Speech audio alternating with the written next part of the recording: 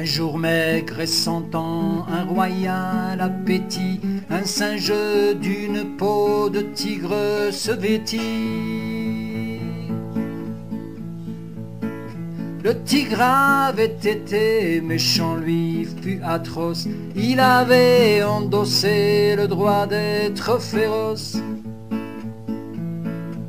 Il se mit à grincer les dents criant Je suis le vainqueur des alliés, le roi sombre des nuits. Il s'embusque à brigands des bois dans les épines, il entasse à l'horreur les meurtres, les rapines. Égorgea les passants, dévasta la forêt, fit tout ce qu'avait fait la peau qui le couvrait. Il vivait dans un antre entouré de carnage, chacun voyant la peau croyait au personnage.